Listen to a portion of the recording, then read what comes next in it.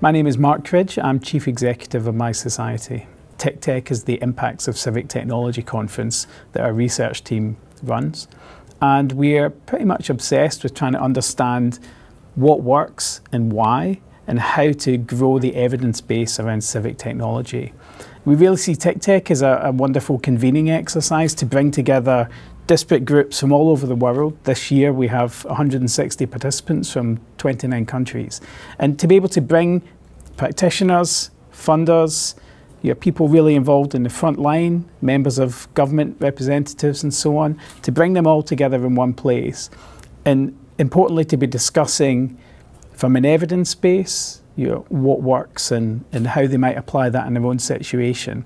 Yeah, that's an incredibly valuable uh, conference in its own right, but it also has much wider impacts. By growing the community of practitioners, it's more likely we'll have long lasting effects, and most importantly, be able to identify how you know, we can maximise the, the, the, limited funding in the sector uh, to achieve the greatest impact.